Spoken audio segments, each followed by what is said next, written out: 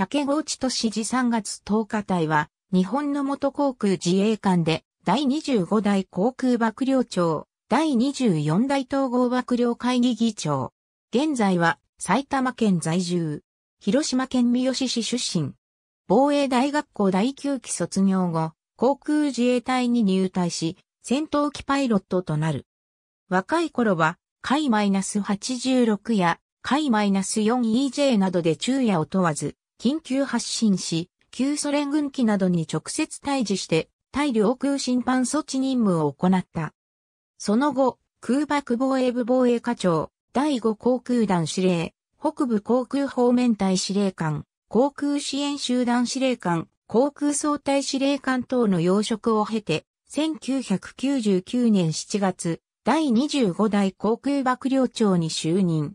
2001年3月には制服組トップの第24代統合幕僚会議議長に就任した。小泉政権下で将来を見据えた統合運用のあり方を検討し、翌2002年には統合運用を基本とする体制移行の必要性を示す報告書を提出し、後の統合幕僚幹部発足の礎を築いた。2003年1月28日に退官。2014年春の叙勲で随宝大受賞を受賞し、皇居で天皇陛下から直接勲章を親授された。